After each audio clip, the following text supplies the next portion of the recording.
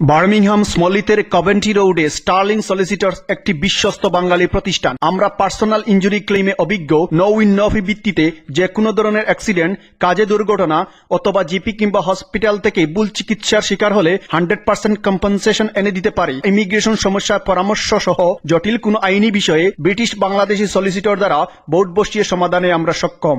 আমাদের কাছে পাবেন বন্ধুত্বপূর্ণ, নিরপেক্ষ ও সঠিক পরামর্শ। তাই আইনি সমস্যা সমাধানে আর নয় থিঙ্কিং পাশে আছে স্টার্লিং